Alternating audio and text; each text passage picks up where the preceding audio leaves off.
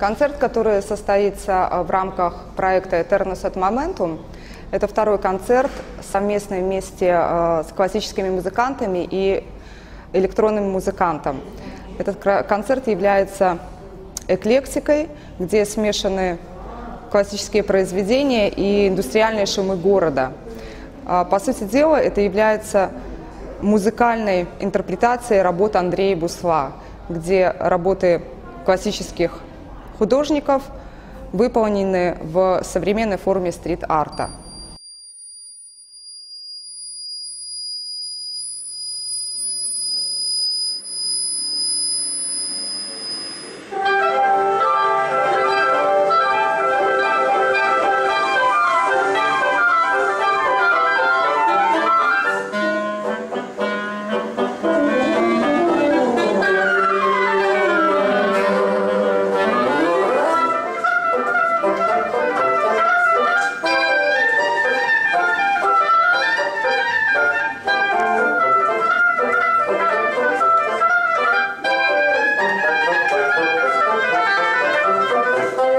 Хороший зритель, он должен молчать, а потом хлопать.